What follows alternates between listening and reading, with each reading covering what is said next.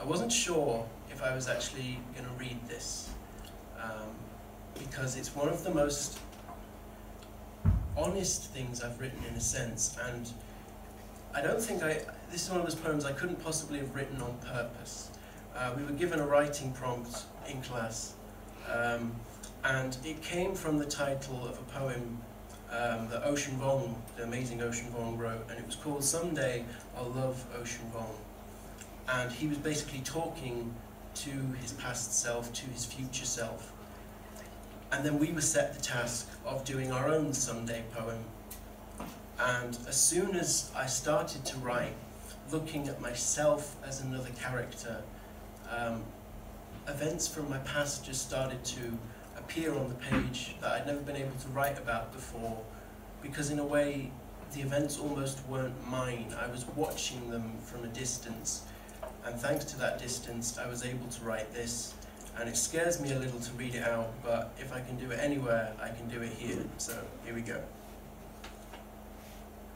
Someday I'll love Lawrence Nicholas, I tell myself, pretending it's not a faraway dream.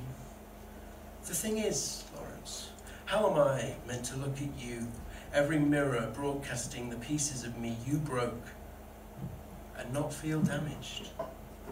Those fiberglass clock hands are still there in your eyes, trap doorways to the night you tried to become dust. I can understand it. God, I've even admired your strength sometimes.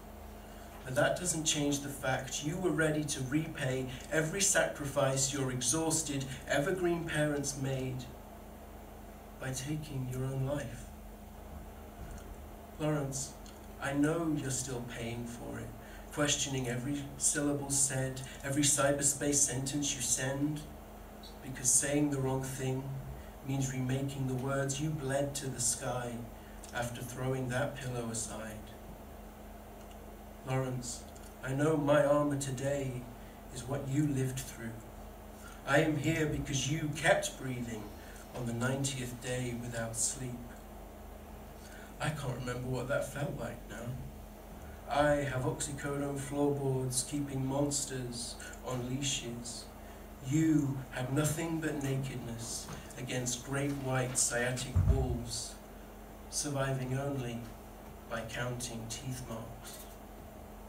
Lawrence, I'll never hate you, but love is a difficult thing.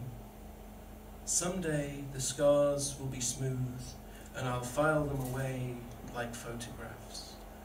Maybe then we'll greet each other in a window, savour our morning coffee together as friends. Thank you.